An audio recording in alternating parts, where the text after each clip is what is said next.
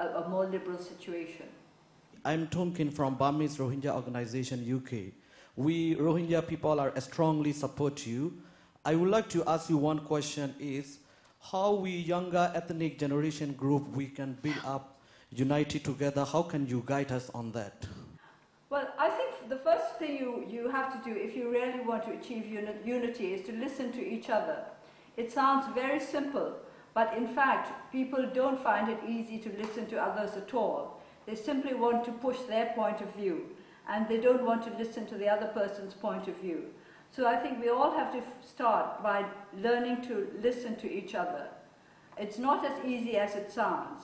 It is really difficult, but I think we can work at it and we can succeed.